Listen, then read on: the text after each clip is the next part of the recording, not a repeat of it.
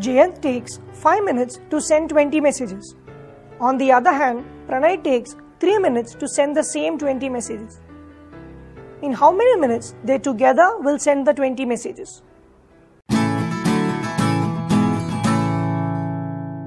Time and work is our topic for now.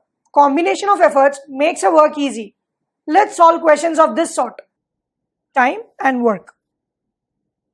In this concept, we'll understand the time taken to finish a work. Let's understand a few shortcuts.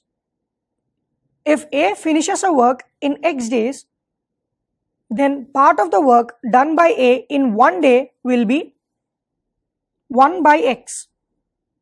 If he takes X days to finish the work, then the part of the work done by him in one day will be 1 by X and this will be vice versa.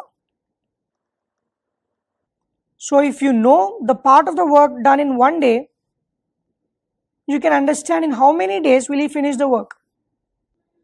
And the second one is, if A is X times as fast or as good or as efficient as B, then the ratio of rate of working of A and B will be X is to 1 and the ratios of their time taken is 1 is to X.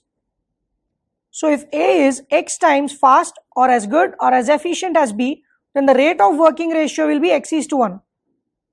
And on the other hand, the ratio of time taken will be the reciprocal of this which is 1 is to X. How can we obtain the remaining work to be done? That is by subtracting the part of the work done from the total work.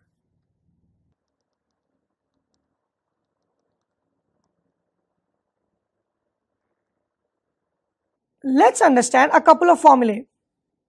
Let's say if A finishes a work in X days and B finishes a work in Y days, if these two work together, how many days will it take to complete the work? This can be obtained from the formula xy by x plus y. And in the other case, let's say A takes x days to finish the work and A plus B that is both together take y days to finish the same work. Then days to complete the work by B alone will be xy by x minus y. Having understood the shortcuts and formulae, now let's solve the type 1 questions. Type 1. A and B can do a work in 12 days B and C in 15 days and C and A in 20 days. If A, B and C work together, they will complete the work in.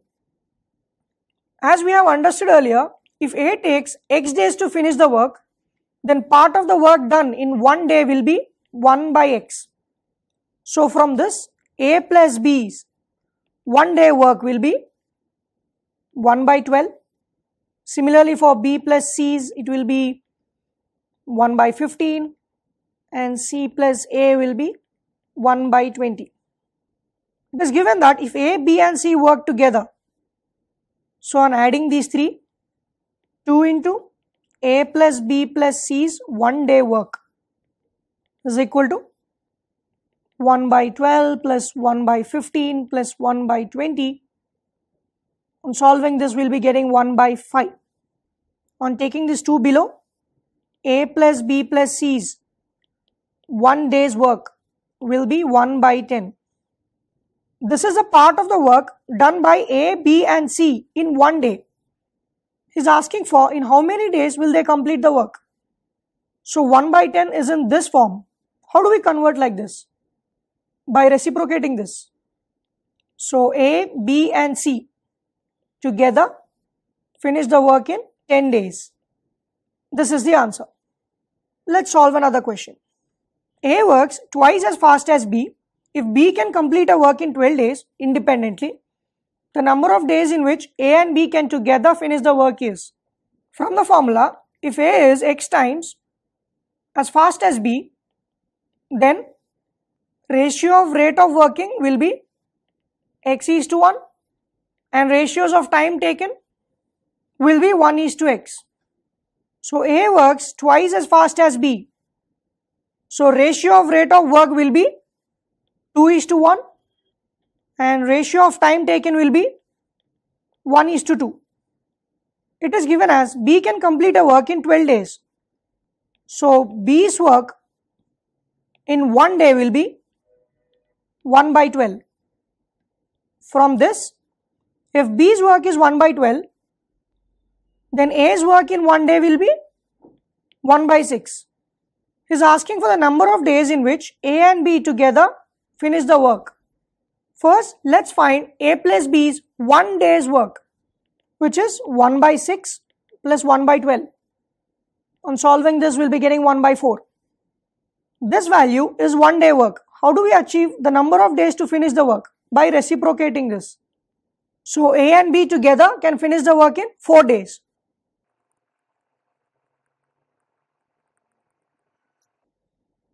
A and B together can complete a piece of work in 4 days. If A alone can complete the same work in 12 days, in how many days can B alone complete the work? Let's solve this. It is given that A and B can complete the work in 4 days. So their one day work will be 1 by 4. It is given that A alone can complete the work in 12 days. So A's one day work will be 1 by 12. In how many days B alone can complete the work? That is by subtracting A from total value.